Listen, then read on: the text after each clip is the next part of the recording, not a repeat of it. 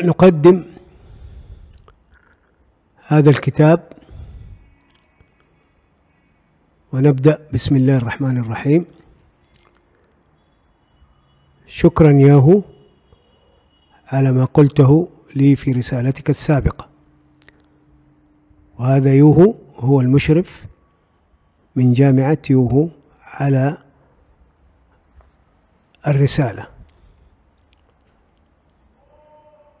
سوف أجعل القصد من محتوى أطروحتي رسالة الدكتوراه بالوضوح الكافي والمطابق لجميع التعليمات التي ذكرتها في صفحة هاشتاج U 04 لذا سوف أوضح أهم بنود مقصد أطروحتي هذه التي سيكون عنوانها أو التي سيكون عنوانها قاموس العصر العربي من A to Z.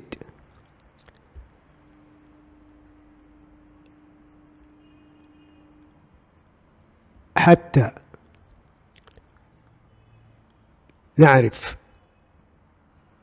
ما المقصود من قاموس العصر العربي من A to Z ننظر إلى الأعلى. سيتم كتابة الكلمات أو الأسماء. في القاموس. لو قرأنا من اليمين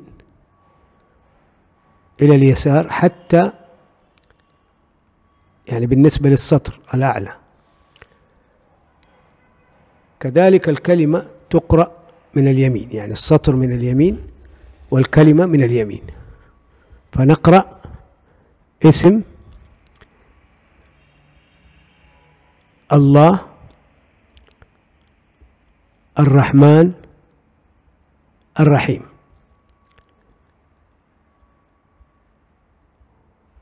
بالنسبة لاسم الله والرحمن لا يشتق منه. الرحيم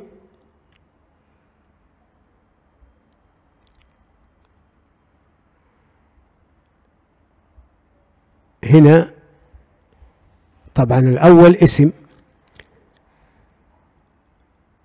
أول الكلمة. طبعا في سورة الفاتحة هو باسم. فلم تكتب الباء لأنها ليست كلمة. والقاموس يعتبر الكلمة هي الاسم.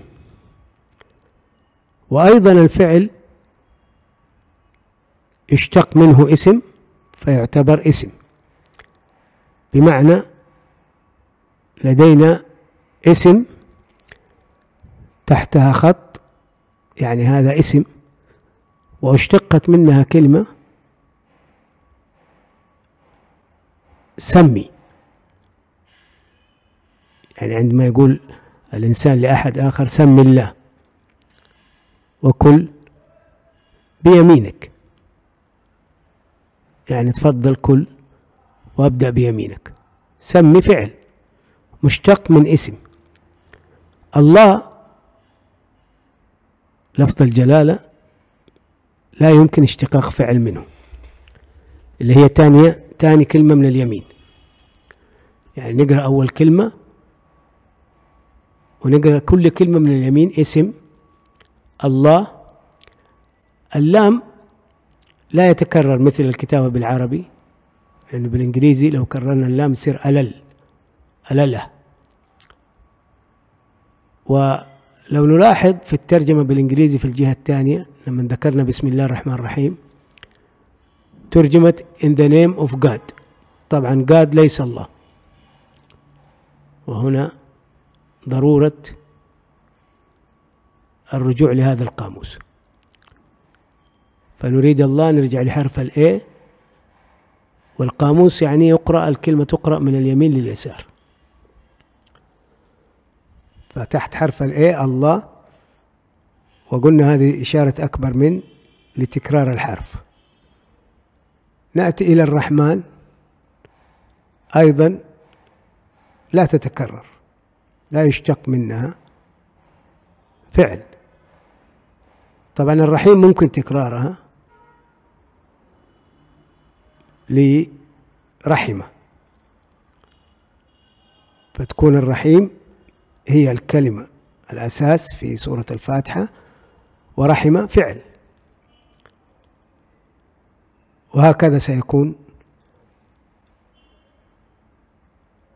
المشروع أو الرسالة تشتمل في الجزء الأول على خمسة عشر سورة من القرآن الكريم. لتحصى عدد الأسماء وحتى الأسماء من الأفعال. يعني لو كان هناك فعل مثل في الفاتحة اهدنا سيكون اهدنا تحتها خط. ثم من اهدنا من الفعل نقول هداية. فعندنا اسم. يستبدل هداية فإهدنا تحتها خط يعني هي موجودة في الكلام القديم الذي هو عمره أكثر من ألفين سنة. اللغة العربية. لأن الهداية هذه معروفة الأفعال معروفة قديمة جدا.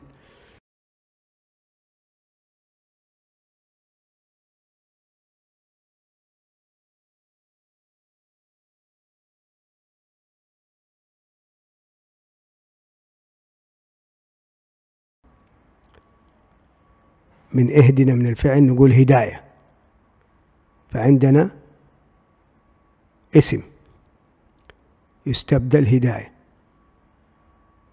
فاهدنا تحتها خط يعني هي موجودة في الكلام القديم الذي هو عمره أكثر من ألفين سنة.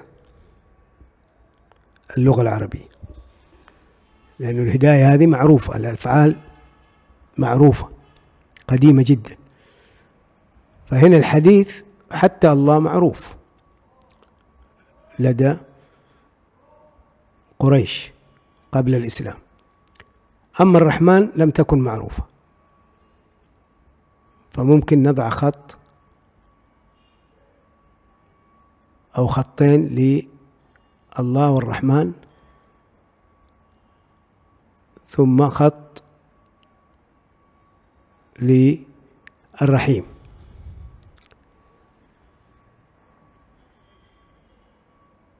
ولذلك عندما نبحث مثلا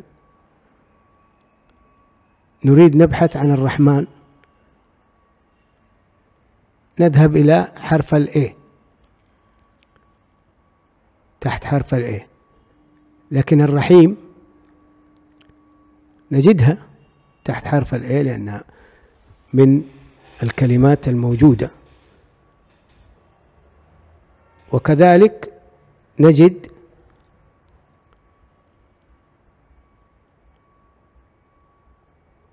رحمة.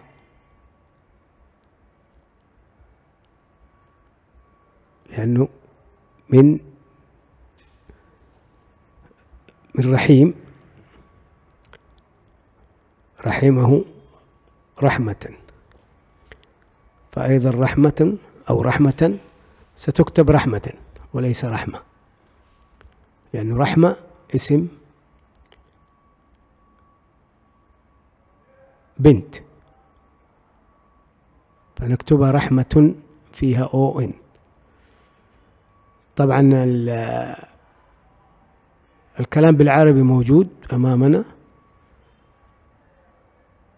نكمل قراءته. فسيكون عنوانها قاموس العصر العربي من A to Z. هذا تم شرحه. طبعا هنا البنود أهم بنود فرضيات أطروحتي تتلخص في التالي يعني هذا السبب. فهذا السبب ناخذ بريك يفتح الباب.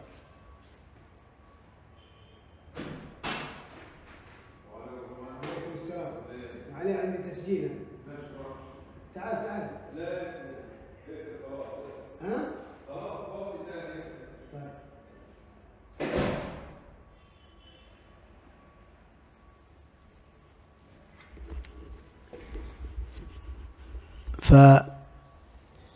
فهنا عدنا إليكم. فهنا يعني يأتي سؤال ما الفائدة من هذا؟ أو من هذه الأطروحة؟ أو من هذا الكتاب؟ فالفائدة أو الخمسة بنود الفرضيات يعني هي مثل العناوين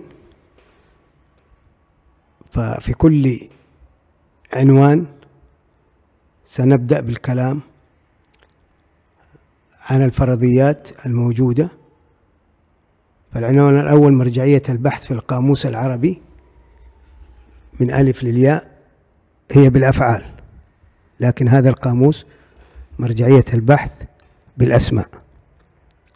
يعني ما نجد مثلا رحيم ما نبحث عن رحمة نبحث عن رحمة اسم.